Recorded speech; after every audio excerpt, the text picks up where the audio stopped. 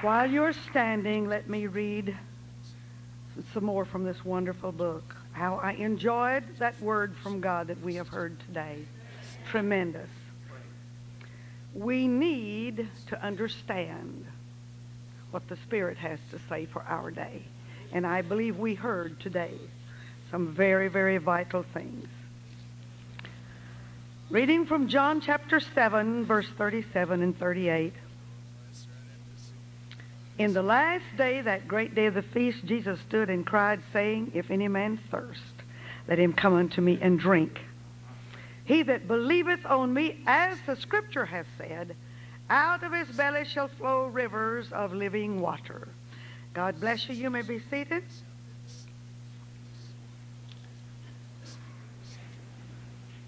When God gave me the experience that I want, I must share with you today, I don't ever really want to talk about this. But whenever he speaks to me, he told me, whenever I let you know, you are to share this experience. When he told me to write it in 1988, I said, Lord, I don't even make notes. How can I, um, what I, I don't even preach from notes. I don't even I don't even study with notes. Uh, I, I, write things down, but I never see them. I don't find them again, uh, so it doesn't do much good. Uh, but uh, how can I write a sermon? And he said, "You write, and I'll anoint you just like I do when you preach." And I thought, well, that'll be the last time I'll ever speak that. I've written it down now, and that's it. But that's not the way it has been. And it's not often, but uh, when he speaks, I listen. The scripture I've just read to you, we used so often in Africa was a starting place. This was where we started with uh, new people that knew nothing about Jesus Christ. We started here. We'd been in Africa four years, and uh, things were not going as well as we would like. I will never forget, we had a tent meeting, and 51 got the Holy Ghost, and oh my, we were just rejoicing about this. And then one of them killed a man, one of those that got the Holy Ghost. And they don't fool around over there. I mean, the next thing we knew, he was hung. Thank God he prayed through again beforehand. So maybe we can still count him as a soul that was won. But we felt like that there was something lacking in us, something lacking in what we were doing, and we, we felt like we had such a tremendous job with the segregation that South Africa had.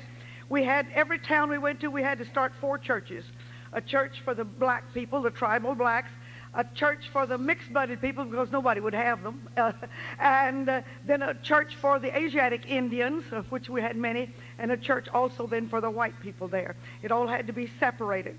And that was very, very difficult and uh, was just four times as much work as it should have been. We spread ourselves very thin trying to just uh, work from here to there, but Jesus said, preach the gospel to every creature. And so we were doing our best to reach every creature, but our work was not as effective as we thought it ought to be. So my husband said to me one day, he said, we're going to first of all repent of everything that might hinder us. He said, I want you to look into your life, and I'm going to look into my life. If there's anything back in the past that could be hindering us now, let's get it straightened out. And uh, thank God for the, the preaching on repentance that we've heard here because it is so necessary. And, and, but when I was repenting, God showed me a, a great mistake that I had made. My father walked off and left my mother with five small sons to raise. They were 10, 8, 6, 4, and 2 years old. And then the last time I had seen him before I went to Africa, I said to him, I once had a dad and I loved him very much. I almost adored him and I don't know what happened to him and I don't know who you are. You are a stranger. And I turned on my heel and walked away. And God let me know that though my father had disappointed me and I felt badly about what had happened, I was wrong because he was still my father. And I, you must honor your earthly father, not because he's a good dad. I hope you had a good dad, but if you didn't, uh, and God said, if you will do the right thing, I will still save your dad. And that promise God gave me in the early days in Africa, I held on to for years, and, and, he, and he did. The week before he died, 84 years old, God saved him. Hallelujah. God will keep his word. He may not do it yesterday, and it may not be next week, but he will keep his word. Well, I sat down immediately and wrote a letter to my dad. and restored the broken communications that was there. Uh, and, uh, well, I got that done. Then my husband said, all right, now we're going to fast. And ask God, let's ask him for the secret of revival. I appreciate a husband who has been a leader. And uh, he's a very sweet person. He loves kids. We started out many years ago. He said, honey, let's always be real nice to old people. He said, you know, there's something so wonderful in all their experiences and their memories. And we've done this all the years. And the other day I said, do you realize now we are old people? but a lot of wonderful things uh, has come back to us from this that we have done all of these years. But in, his leadership, he had said, one day he got up out of bed and we had struggled. Uh, we couldn't seem to find a place to live that we could have room uh, to have uh, services, and we couldn't find a place to. We got everything going after a fashion, but we couldn't get a start among the white people in South Africa because we could not rent a hall. We could without without people, they wouldn't rent you anything. And we couldn't get anything. We just couldn't get going. I, and one morning he got up and he said, honey, I'm going to build us a house. I said, did you fall on your head? Uh, you must have bumped your head real hard yesterday. I mean, there's no other way.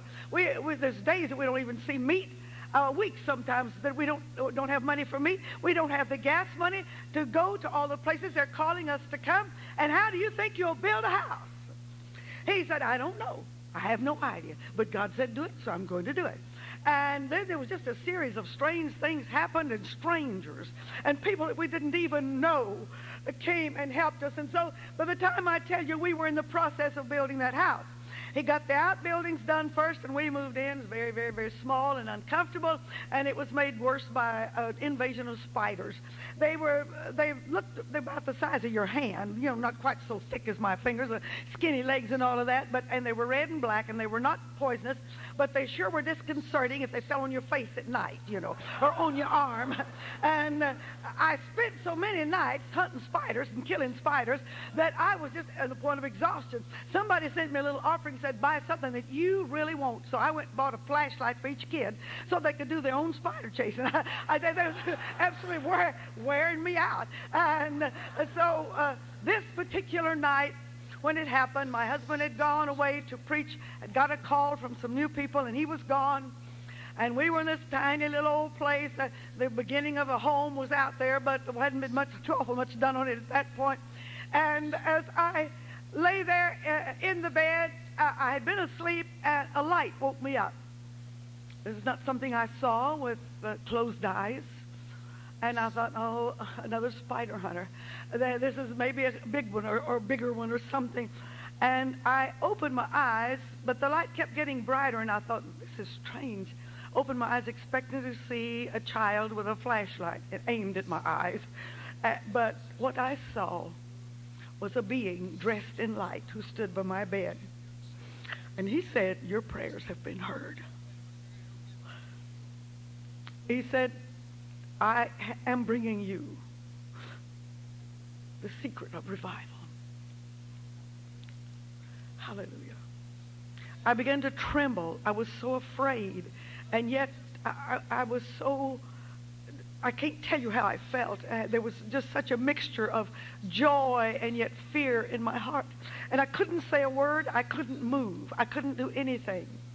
This heavenly messenger could understand my thoughts. And he said, Don't be afraid. it is because God loves you and because you're in his will that he's going to show you the secret of revival. And. Uh, he unrolled a scroll in front of me, and it just was hanging there in the air, this beautiful scroll, and on it was written the words of Jesus that I have read. If any man thirst, let him come unto me and drink. He that believeth on me, as the scripture has said, out of his belly shall flow rivers of living water. And I looked at that scripture, and uh, amazing. We, at our best, we're carnal because my thought was, I have used that scripture so much. In fact, in one tent meeting, just before the one we were in, right at that time we were in a tent meeting, uh, uh, I had started with any man one night. And the next night I preached on thirst, and I took it word for word and went through this. And I didn't think there was anything in that scripture that I had not found. And he rebuked me and said, You will never dig to the bottom of God's almighty word forever settled in the heavens is that word. And you will never grasp with your human mind everything that he is trying to give you. Don't ever say this old familiar scripture. It, it sounds like you're making it familiar in a almost a disrespectful term. I don't like that phrase at all. Uh, it never gets old. It's always new. It's always vital. It's always real.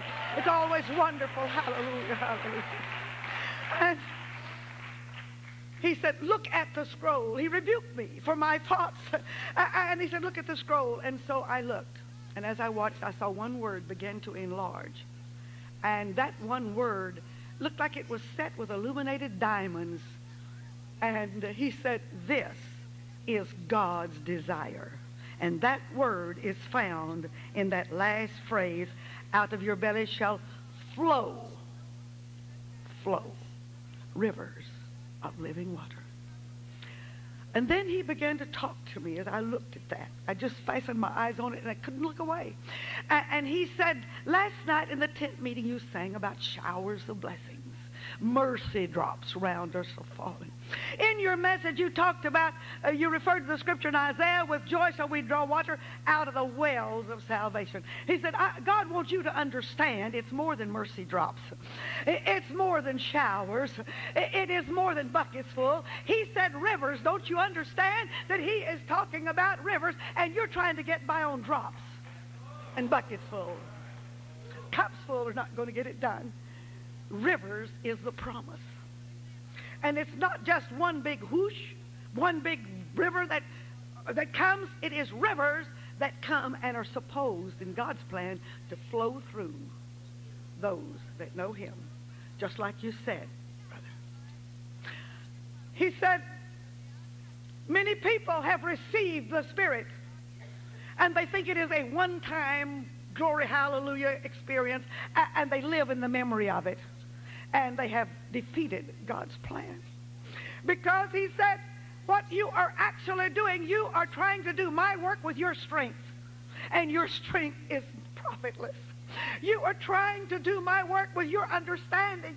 And your sta- understanding is hopelessly inadequate. You are trying to do my work with what you can figure out and maneuver and plan and what you can arrange. And I want the work to be done, God said through my spirit flowing through his children. He said, I'm going to show you how it should work. And then in front of me, I saw a preacher and his hand was lifted up and he had the Bible like this and he's reading this very scripture. And I could hear amens and oh thank God. I could hear people, but he said, look closely at that scene. There is a deadness there that should not be. And I saw the hand of God move the preacher, church, and all out of the way. And then I saw another preacher standing in the same position with his hand lifted up and the Bible in his left hand, reading the same verse. But he said, now the Spirit of God is not visible, but I'm going to make it visible to you so you can understand what God wants to do. And all of a sudden, as I saw this man, uh, he was his hand was not only up like this, he would do this, and I saw from his fingertips there was flowing looked like rainbow colored light. That's the only way I can describe it. And every word that he spoke, reading the precious word of God, it gushed out of his mouth. It swirled about him on the platform. Then he said, Look at the congregation and people that were just sitting there dead still, not doing anything. I could see this wonderful rivers of God's Spirit flowing down in them and out through them and filling that whole church. And I thought about the dedication of the temple when the glory of God filled the house of God. And I have been in conferences three times when the Spirit of God filled the place like a smoke. A conferences are special. One, two was conferences. One was just a special meeting where the Spirit of God came like a smoke and filled the whole place. I think sometimes God makes it visible to try to help us to understand what He's doing and what He's trying to do. And he said, now keep looking. And as I watched, I saw a man come in the door, a haughty, aristocratic looking man. And his very attitude says, Well, I'm coming to your church, but you won't get me on my knees. And we have those who come like that but he sat down by an older couple that were just sitting there quietly once in a while, a little hallelujah, praise the Lord. But the Spirit of God was pouring down into them, and it circled this man as he sat there. And he got very uncomfortable. He started weeping and twisting around in the seat, and pretty soon he reaches, he does this and reaches in his pocket to get a handkerchief, and he tries to wipe away the tears that came that he couldn't stop. And he said, no, no, nothing a man could say would touch that man, but the Spirit of God will do the work if it's flowing through God's children. Hallelujah, hallelujah. I kept watching and I saw that man stand and he took a step, but he, then he just stopped and he said, My God, I'm lost. Uh, he just got to the aisle and he fell full length. The two sweet people knelt by him and then I heard him speaking in other tongues as God filled him with the baptism of the Holy Ghost. We're doing too much of it the hard way. We're doing too much of it in our own strength. We're doing too much of it with our own intelligence. And that is not going to do what Jesus wants done. It's got to be, it's got to be His Spirit flowing through us. Hallelujah. And then he said, I want to show you something else. And I'm looking at all of this, and then all of a sudden I'm outside the church, and I could see flowing out from the church in every direction. And I saw the Spirit of God as it moved. Uh, I saw a man and his wife arguing in their home, and they're just about ready to, uh, to tackle each other physically with blows. Uh, and I saw they didn't even know that something had entered their room, but there was enough Spirit of God flowing and filling that whole neighborhood. Let me tell you, uh, things are bad in some places in our countries, but where there's enough people that God's Spirit is flowing through, God is doing things we haven't the faintest idea of. and that softening influence of the Holy Ghost made that man say, I'm sorry. and, and peace was restored. Then I saw a woman walking along. Uh, she looked like a rather down on your luck type of person. She had on a dirty apron, had a loaf of bread in one hand, a cigarette between her fingers, and, and she's just shuffling along down the street, probably been to a little store. But inside the church now they're singing, and the beautiful song is coming out, born on rivers of the Spirit of God. And it circled her, and she stopped. And as she stood there, she dropped the bread. She dropped the cigarette. Uh, and inside the church, I thought, well, now what's going to happen now? But inside the church, a lady from this side, a lady from that side got up and eased out. And They met at the door, smiled at each other, but there was not, not even any conversation. And then they looked and they saw this lady and went to her as she, she took the dirty apron and covered her face and said, Oh, I'm such a sinner. I am so far from God. Uh, and they came to her, put their arms around her, gave her a little bit of instruction, quoted a few scriptures, and I saw her lifting her hands and speaking in other tongues on the sidewalk as the Spirit of God poured. Oh, I want to tell you the truth this morning. We ain't seen nothing yet to what God would do if His people would allow His Spirit to flow through them. hallelujah, hallelujah. Hallelujah, hallelujah,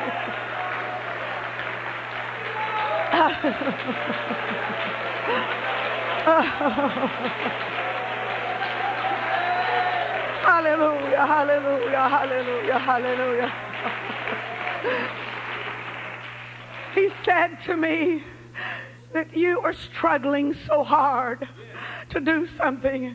He said, That altar call that you extended so long last night, if there had been more of the flow of the Spirit of God, when you stopped speaking, they would have come running to seek me. It's not what you can do, he said. It's what God will do through his Spirit. God is love. This love problem that we have, and you're on target when you're talking about love. The love problem that we have is because, you see, if we had more of Him flowing through us, there would be no problem with love whatsoever because the love would just be there and it would be flowing, a tangible thing almost that people could feel, almost touch, uh, because the Spirit of God is so powerful and He hasn't limited us. In fact, the original promise here is rivers. Hallelujah, hallelujah. I never see a river that I don't think about. Uh, now, God wants half a dozen of those to be flowing through us, just like that. Hallelujah, hallelujah, hallelujah. And he said, You can do what you will, but when you see the rivers of my spirit flowing, then you will see mighty revivals such as we have never seen. Now, God has been able to do some wonderful things in other countries, but you know, we poor Americans, we've got so much built in starch. And eh, we, we, we just, you, there, there's, it just seemed like, we're, and we're so skeptical, and, and we got to see it, and then we'll believe it. and it's uh, there's there's so much pride in us. And as I lay there in bed that night, I thought, God, if I just knew how to put my finger on the things that stops the flow of your spirit, and He said, I'm going to tell you in English, plain English that you can understand. Every Bible I get between the Old and New Testament, I write down these things that the angel told me that night. He said, and I used to, I had a scripture for each one, but that would take too long. So you look up your own scripture. But I'm, go, I'm going to read you the list of things. He's, I'll never forget how slowly and distinctly he said each one of these words. He said, You want to know what stops the flow of God's Spirit, he said, I'm going to tell you in your modern vernacular so you can understand and check and see. And I have observed it over and over again every single time that uh, I allowed some of these things to get into my life. I could feel the anointing and that flow of the Spirit of God. And I don't know if I have ever come to the place. Yes, yes, yes. I remember twice that everything got out of the way and God did what he wanted to do. But let me just read you this list. I am not going to preach about these things. I am simply going to give you this list.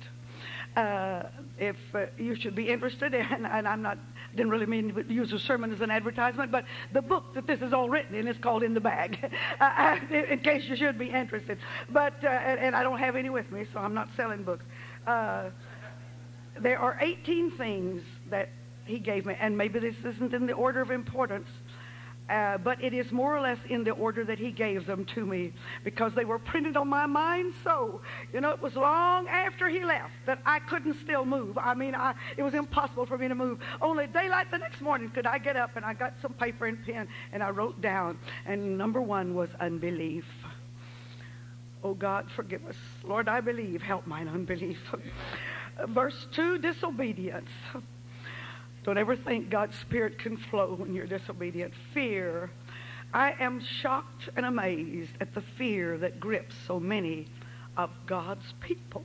Forget about folks in the world. I don't mean to forget about them, but uh, not, don't even consider them. Just look at us. The fear, fear of cancer, fear of what's going to happen to our children, our family, those we love, fear of what's going to come on the world. Rebellion is number four. Rebellion is, is a sin of witchcraft. Jealousy. Uh, there's a lot more of that than we admit of. Bitterness. God deliver us from bitterness. Root of bitterness is a terrible thing. Lust. Lust is featured in our world today magazines that were just had helpful hints for the home. And when I went to Africa, when I come back and saw them, they looked like pornographic literature and read like pornographic literature, a lot of them. I don't subscribe to any of them anymore. I thought it'd be so nice to get back to States because I remembered what it was before I went. I was gone a long time.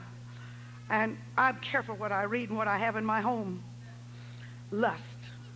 Number nine. Ten. Malice. A lot of people don't understand malice.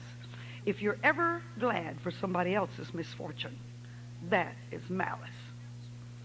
If you ever say things like this, oh, they had it coming. It's high time they find out how the rest of the world lives. malice. Number 11 is greed. You wouldn't think that children of God would have to hear about greed, but we are greedy. 12, number 12, is, some of these are double hitters, and that one is anxiety, worry. This is what makes Americans look like such a sad sack bunch of people.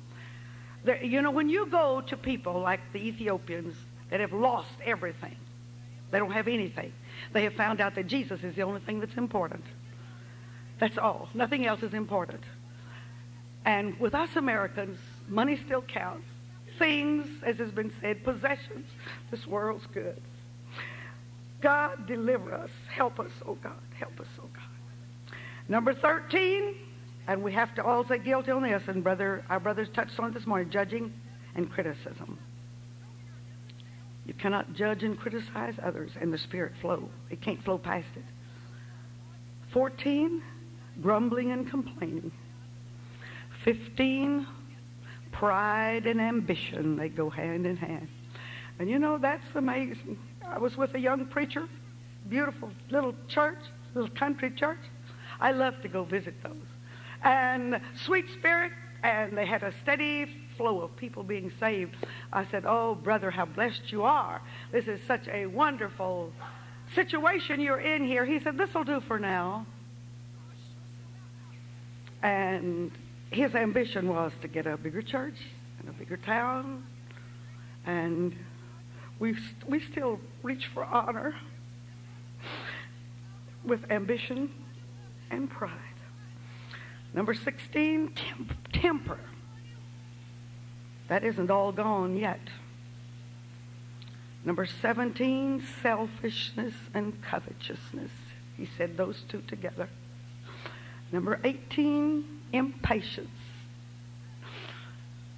All right, God, get it done for me, please, by yesterday. We, you know, that patiently waiting, there is some patient waiting in walking with God.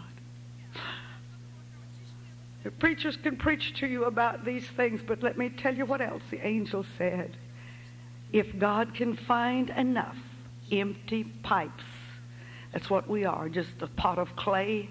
He wants to knock the bottom out and make us just empty pipes, empty channels, empty canals that he can pour his spirit through.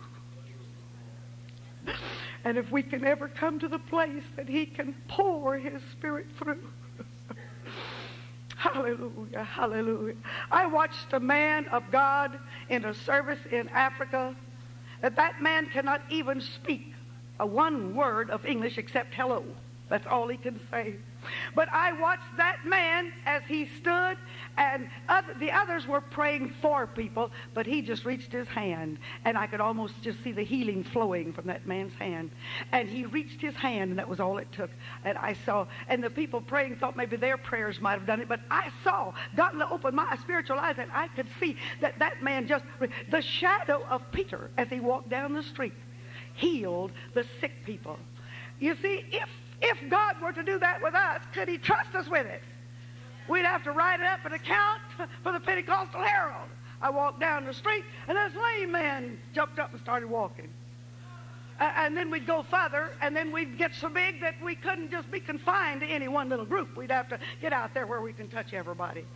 He can't trust us yet because there's not enough of His Spirit flowing through us. Hallelujah, hallelujah, hallelujah. And as the messenger left me, he said, If ever you forget this message, you will grieve God. He said, whenever these words come to you, flow. You hear the Spirit whisper, flow, flow, flow, flow. That means you are to talk about this. He said, and tell the people of God, get the flow. That's what you need is the flow of God's Spirit. It's not just getting it one time is not enough. It's supposed to be a continual thing. It isn't ever supposed to, you're not supposed to settle down. I heard two old ladies talking about a new convert, and he was wild. I mean, he was just, he just running up nabbing everybody and telling them about the Holy Ghost, and they one said the other, he'll settle down after a while. We used to be like that. He never meant for us to settle down. He, he never meant for us to get over it. He meant for us to keep that flowing of the Holy Ghost. Hallelujah, hallelujah. That's why he talks about the first love.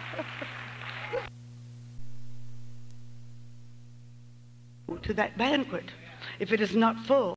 Well, when I got back to her and told, agreed to go, she said, I still lack three more. And I said, well, I will help you hunt. We finally found three more. So there was 25 of us.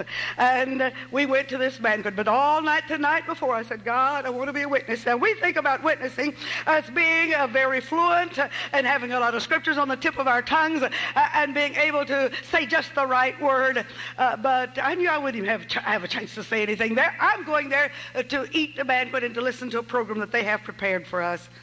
But I prayed, God, I want to be a witness.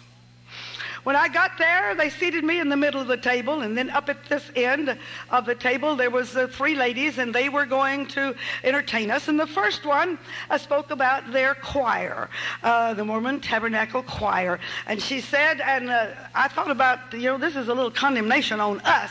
She said, they come to practice on Sunday morning at a quarter after seven. And she bragged. She said, we have uh, professional people, we have teachers, uh, school principals, doctors, nurses, specialists. And she went down the list. And she said, but if these people miss a practice, uh, then they have to have a doctor's certificate. They have to have a real reason. Excuses won't do. But to think of people that are that dedicated to a false doctrine, they condemn us in more ways than one they send their sons and they can't get married until they first serve a term as what they call a missionary and the family supports them. You see them walking around by twos, you know, black pants, little black tie, white shirts. And they don't have a real gospel. It's based on a myth. And we have the real gospel and we sit down and sleep and are so satisfied. But anyway, I enjoyed her talking about the choir and telling how they, uh, how dedicated they were. She said they come to the church at a quarter after seven and they never get away before two or three in the afternoon because after the service they do recordings and they practice. Uh, and uh, so then uh, the next lady gets up to speak. Uh, and remember, Lord, I want to be a witness. I want to be a witness. Well, she had her little spiel memorized, and she started, and she got so far, and then she forgotten. And the other two looked at her in dismay, and she went back, back. She said, just let me start over. And she started all over. And she didn't get that far the second time. And so then she started over the third time. And finally she stopped and she pointed at me. She said, you in the pink jacket, what have you done? Who are you? What is it that's coming from you that won't let me talk?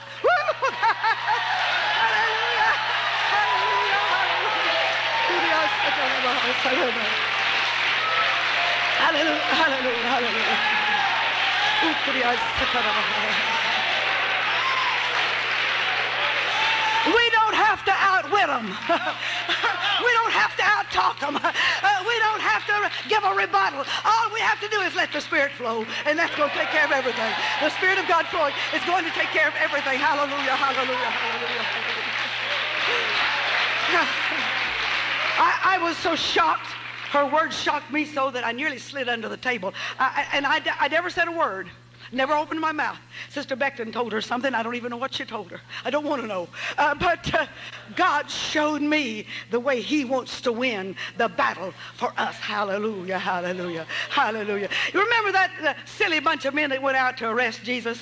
And when He said, I am, they all fell. I mean, they couldn't stay, you know, wasn't that now? Isn't this a nice uh, arresting party? You know, uh, I mean, they all fall flat.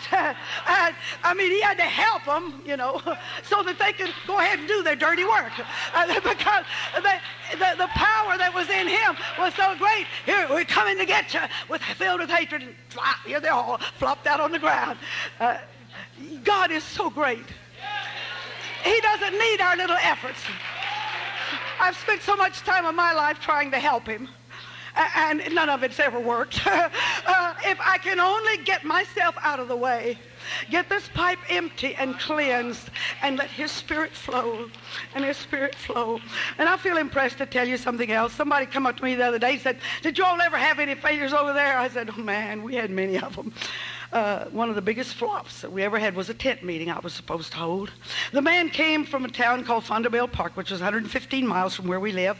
He and his wife got the Holy Ghost. He was a mature man. He and his wife were in their 50s.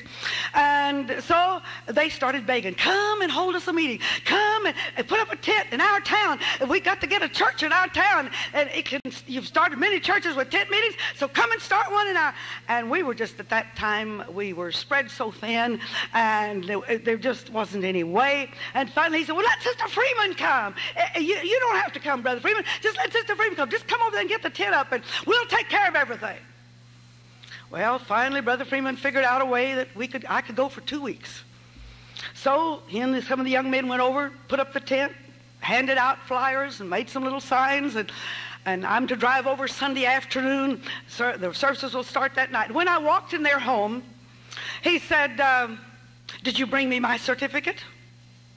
I don't even know what he's talking about. It, I was so surprised.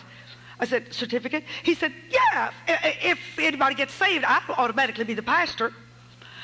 And the man's never preached. I mean, he, uh, you know, but he, I said, brother, he said, your husband ought to understand that he should give me a certificate. I said, brother, you, you don't understand. Brother Freeman doesn't have the authority to give you a certificate. That is an action of the board based on a call from God and your experience and your qualifications. He said, all right then, if you didn't bring me a certificate, I'm not going to help you in your old tent meeting. That's when I found out it was mine. I, I thought... I, hadn't gone there with that impression. The man had a beautiful voice to sing, and so I thought, now he can. I never have, uh, after God got me straightened out on, I've never minded preaching, but I'm hopeless as MC and and doing anything else. But bless God, I had to do it all. this man and his wife, both of them rather large, they just took two chairs and put them over at the side, folded their arms on their chest, and there they sat, and with a sneer on their face. And I get up with my little accordion and lead the singing and pray. I got to do it all, you know. And the people that would come, people did come, but they'd look at me, then look at them, and trying to reconcile the two. And uh, it was uh, anything I tried to do. I, I have never gone through such a. Uh, a terrible time as that tent meeting. I, I, would wake up later on and just think about it and, and, just feel tired just thinking about it. Because when you, you, it's all, there's nobody saying amen. There's nobody helping you. And by the time I got through testifying and praying and emceeing and, and playing the accordion, trying to lead the singing, I, I, I did some little courses on little sheets. And, and then I'd give an altar call. Some of the little kids would come and they'd sit down on their knees and giggle at each other, you know. Uh, and just, it was all just a joke. Uh, and uh, then I'd go back to the refrigerator. I had no money. I had to stay with them. That was the original plans. And the second day that I was there, I heard the breakfast dishes, you know, and so I heard rattling. And so I got up and hurried. I thought, oh my, uh, I'm running behind. And well, I was nearly ready. So I was sitting in the chair reading my Bible. So I got up and finished dressing and slipped on my shoes and went, came out. And she said, your food is not ready yet. I'll call you when it's time to eat. Well, I went back and stayed till she called me, and she had me a little plate set by myself, and I always did hate to eat by myself. And she set me down there, and I, it was considerable difference in what was in there for me to eat and what was in the kitchen that I'd seen that they were eating. But that's all right. I didn't mind that either. But uh, that it was uh, eh, the, the whole time I'm there. Now there is no fellowship. I phoned Brother Freeman near the end of the second week. I said, "Honey, I know that if we say two weeks, it's two weeks. I know that." I said, "This is a reproach to God and man." I, I think we'll bless, we'll bless the Lord by pulling this tent down and getting out of here because this is, this is not going to work. It's not working. I've never struggled so hard in my life if I just had a song leader. He said, Well, I'm disappointed that the brother has disappointed you and me too. And he could have led the singing and been a great blessing. Uh, but uh, he said, uh, I still think you better go on another week. Bless him. Thank God. I'll forever thank God that he said that. he said, I'll send you some help. Uh, well, the only person he could find was a sweet little old lady who couldn't carry a tune, but at least she could say amen, and that helped. and and I, I, had somebody to eat with. I didn't have to eat by myself. Uh, and uh, but uh, I, I, dreaded going to that tent. When I walked out of there, I felt like brushing off the dust of my feet because it was it was so pitiful. Uh, because it just seemed like the only thing in the second week on the Tuesday night, a backslidden preacher's wife from an, another city was driving through and and saw a sign and followed the sign, and she came in the tent and came to the altar and prayed through and got back in her car and went on her way. If she'd have stayed, it would have helped. You know, just had one. But that was the only thing that happened. Thank God for that. I'm not minimizing that. But Thursday night, there was a young black man stopped me as I stepped out of the tent. I've explained to you the segregation we had then. And he said, Madam, I was here outside last night and I enjoyed your address so much. Uh, uh, he said, I took the liberty of calling together some of my friends and family, and they're waiting. And we live in a little village about five miles from town. Would you come and speak to my family and friends? And I looked at my friend and said, What do you think? She said, Would they still be there? He said, Oh, they will wait all night if necessary. He said, We are hungry for God. And that was all it took for me. I said, Yeah, yeah, we'll come. And I went over and said to my, uh, my host and hostess, they had already given me a key. I said, uh, We will be a little bit late. We're going out. This young man is a school teacher. And this is a Zulu community, and he's going to interpret for me, and we're going out to hold another service there. And the man told me I was crazy, but uh, I said, Well, I feel led of the Lord to go. So I went. My pulpit was a table on the back, little back porch. The little back porch was about six feet wide and uh, long, six feet long and four feet wide, and had two candles to read the Bible by. And the people brought their own little seats or sat on the grass. Uh, but there was over a hundred people there waiting. And uh, I thought I was tired till I got up and began to minister to people that were hungry. Oh, hallelujah. I trust that the day will come when you, the children of God, will come to church hungry. If you ever come to church hungry, you better pray for your preacher because you'll make him preach himself to death. That, that's, that's what I do when I get where people are hungry. I, something in me responds to that hunger. And I enjoyed it, and the young man was an excellent interpreter. And preaching with the interpreters, it never bothered me, uh, except when it got to be four of them. That was kind of difficult because I never always forgot where I was. I forgot what I said last, but the time they got it translated. But uh, the one interpreter, and he was, they were very interested. And uh, I, after the service, he said, Will you come back again tomorrow night? And I said, Yes, I will come back, but uh, you'll have to guide me out here. I don't think I will remember the, all these twists and turns. He said, Well, I will be there. I'm going to bring, now that I see you will not mind, I'm going to bring a carload and we can listen outside and hear you at the tent too. Well, even uh, Friday night service is a little better because I know there's an audience out there, a little small one in the car, that are listening, that are hungry. Uh, and the ones that I was speaking to were not hungry hungry. There was none of them that were really hungry. It was just curiosity that brought them out. Had a different crowd almost every night. The only ones that came every night was a few little naughty kids. Uh, they were there to bless me. Uh, and uh, so uh, but that Friday night, oh, listen, the crowd had grown. Uh, there was a little road that the car lights would flash on the group, and my friend counted them the second night, and she said, Sister Freeman, there was over 200 people sitting out there.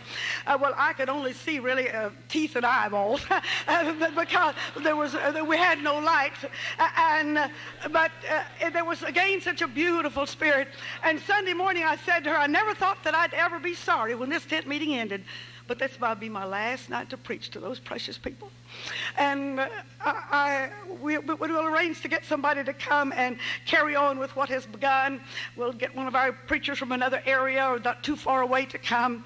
But uh, I, I could only, you know, if I'd had my way, I'd have just gone in the tent and got up there and said, Now, I'm glad you all came and may God richly bless you, and I will stand and be dismissed because I just couldn't hardly wait to get out there. But I knew if my husband was there, he'd say, uh, Give it your best. Go ahead and do your best, even when it's hard. So I went ahead and I tried, and it was just as dry as it'd been every other night.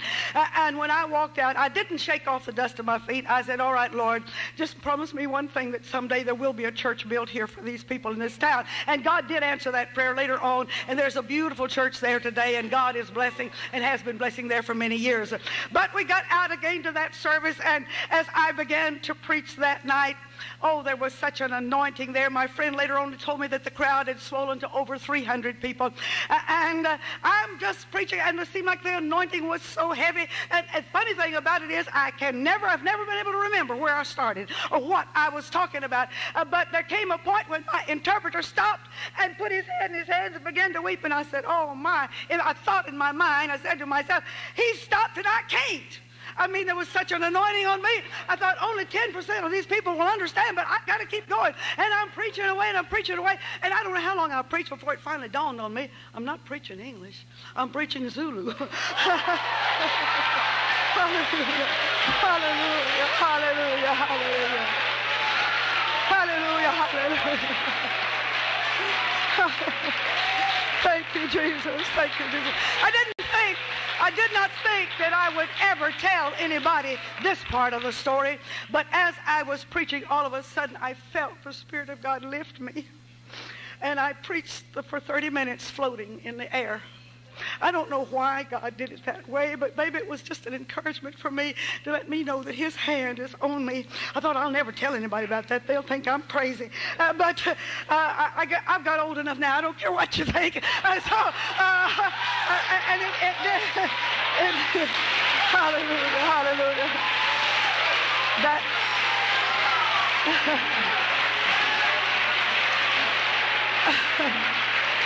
hallelujah, hallelujah. I better rephrase that. I do care what you think. Uh, what I mean to say is that nothing that you think will stop what I feel like I should do. That's the way I should have said it. I didn't say it right. There was a second time that God had done that for me. Uh, the other time was also a time of great crisis and a great need. And it was my own daughter that come and said, Mother, you never did float around while you was preaching before. That was awesome. I said, Well, honey, I never faced, a, I had a church about to split. My husband's in America. America, and, a preacher's fallen into adultery, and I had a heart attack the night before uh, because uh, from all the trouble, and nearly got sent to jail. uh, I mean, I stood there in front of the judge, and he said uh, 15 pounds or 30 days, and, and I felt in my pocket I had about 45 cents. 15 pounds was like uh, I can't think of, I never can figure on my feet, but it was much four times that money, and uh, I, I felt the 45 cents I had in my pocket, the equivalent of it. Uh, and he, I thought so myself going to jail was something that I did not know uh, this insurance had expired. My, my husband had tried to tell me about it, but the phone rang and I went to answer the phone and he's t- shaving and talking and while he's leaving and I didn't hear him. And so that's how I got into trouble there. And I just faced so many things. And then the whole congregation is about to split. And I said, all of you come one more time for one more service. And they came in at that service.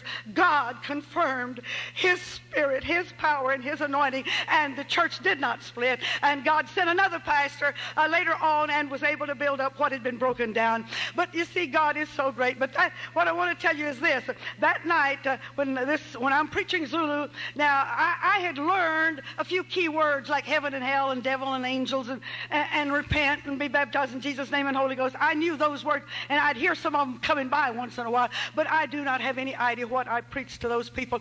But I saw a man get up and come come to my interpreter and try to give him money. and he, he wouldn't take the money, and they put their arms around each other and they knelt praying together, and God filled both of them with the Holy Ghost. And then I saw people all over that congregation. I've never preached as good a sermon since as that night because all over that congregation, people went to each other and wept in each other's arms, and the Holy Ghost was poured like rain. I purposely did not even try to count and see how many. I just felt like I've still got to drive 115 miles home, and uh, I, I, I when the Spirit lifted and I settled back down on the porch. But this time the young man is up just rejoicing in the Lord. And I went to him, I said, Brother, I've got to go. If I don't leave now, my husband will be worried about me. But I will send one of our preachers to come and baptize you in the name of Jesus. And uh, a work was started for God that night in that wonderful way. Let me tell you, no matter what you face, God knows how to handle a situation. And if we can just come to the place that we will open up our lives to Him and clean out our hearts of all these little silly things that we're holding on to, then the Spirit of God can flow through us and we will reach our world. Hallelujah, hallelujah, hallelujah. I close. I want to close with a vision God gave me in Africa. And He said, This is America, and this is what is going to happen. Brother Cole, what happened in Ethiopia is going to happen in America. I don't know what it's going to take to get us in the shape, but I saw churches with people surrounded, just a sea of people outside trying to get inside our churches. You see, there's a lot of people just trying to get attendance, but I saw people doing everything they could to get inside the church. And I saw the Holy Ghost poured out, pouring just down like rain on hungry hearts. And I uh, know that God has closed the chapter on our missionary work and sent us back so that we can speak to you to build your faith and help you to understand. Uh, stop being negative, uh, and stop wondering why God don't do it. Just open up and get the flow of the Spirit of God. That's what we need today more than anything else in. Hallelujah, hallelujah, hallelujah. Get the flow. Get the flow. Clean out the house and get the flow in Jesus' name.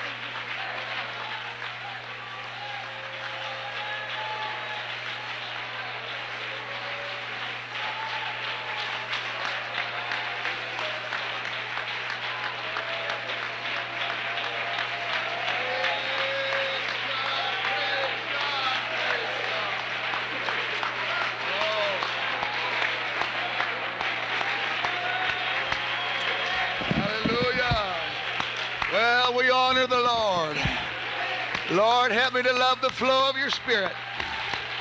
Help me to get out in the river. I'm going to trade my bucket in for a river, Lord. Praise God.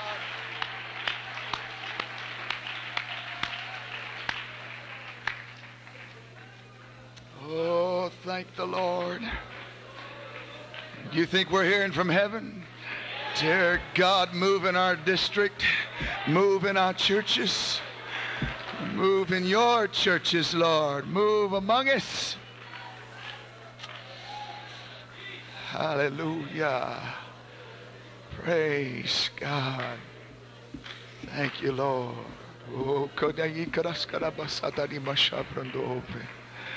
Spirit of the Lord.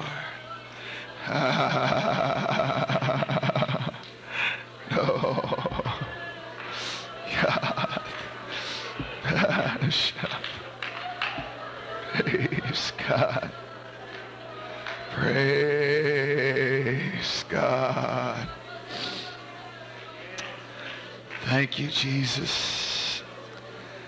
We wait on you, Lord. Ah, give us a new vision and a new burden for revival, the move of God. Thank you, Lord. Thank you, Lord. Thank you, Lord. Jesus' name. Praise God.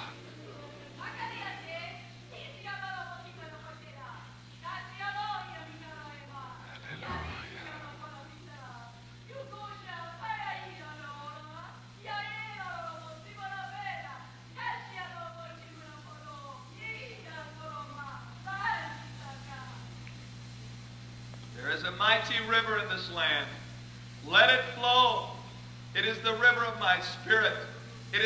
Power that has brought this river into being. I paid the price upon the cross for this river to flow. If you will trust me, if you will lean upon me, and not upon your methods, but upon what I will do through you, then this river will flow through your midst. It'll flow into your city. It will flow through your church. It'll flow through your life. Everywhere you go, everything you do, my power will flow through you. Do not trust in methods, but trust in what my power can do through your life. I want to move in your midst. There is a river in this land. Let it flow. Ah, praise God. Praise God. Praise God.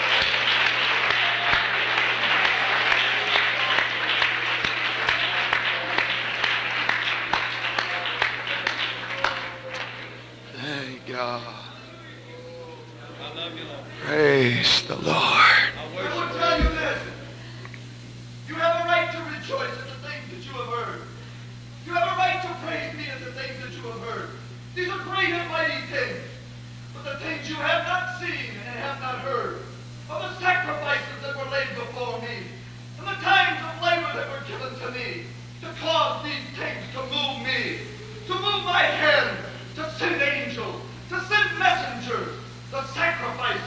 that I'm looking for. The sacrifice is the thing that will bring these things. Sacrifice unto me, and you likewise will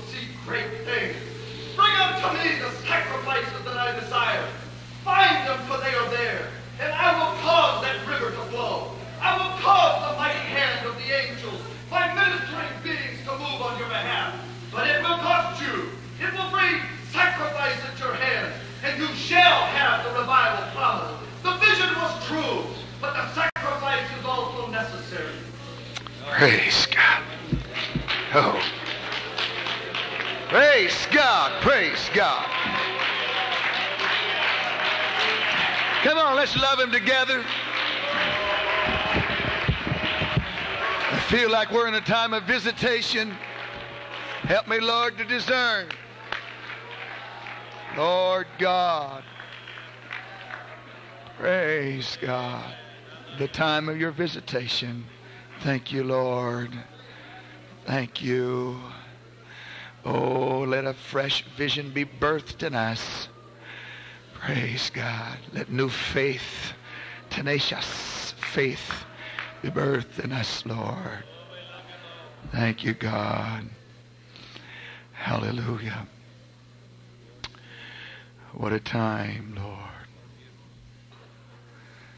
I have been places where we heard the word of God and then we just cut it off and walked out the door and didn't give the Spirit of the Lord time, just a little time to implement, to fashion, to deepen, to implant. Praise God. That's why we're waiting, just for a little bit here. Praise the Lord. You don't overhaul, overhaul a car in five minutes. oh, thank the Lord. Thank the Lord. Do you know He's here? He's talking to us. Thank God. Thank you, Jesus. Praise you, Lord. Oh, God. Help us to flow with you. To flow with you. To flow with your power and love, we pray. In Jesus' name. Thank you, God There's something in our churches, Lord. Our ministries, Lord. Praise God. Hallelujah. Praise God. Oh. You're great, Lord. You're great,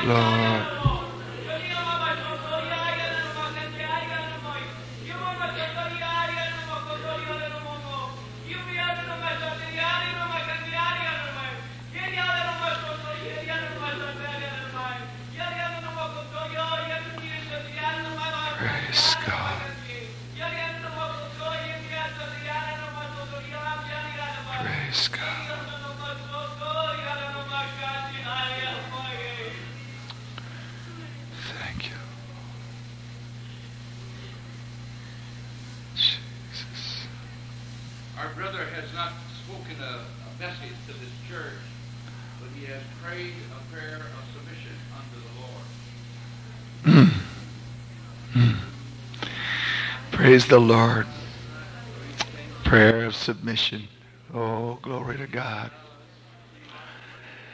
Praise the Lord. A prayer that we all need to pray today. Say, Lord, I submit myself to your word. I submit myself, Lord, to the Holy Ghost. Submit myself, Lord Jesus, to the dealings of God. Praises to the Lord. Hallelujah. Oh, God. Praise God.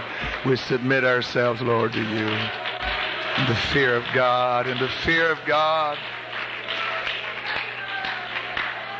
In the fear of God. In the fear of God. Praise the Lord. There might be some of you that would like just to skip lunch. You feel free to do that and hang around the altar. Praise God. You feel free to do that. Brother Brother Tony Tamil has a few comments for us.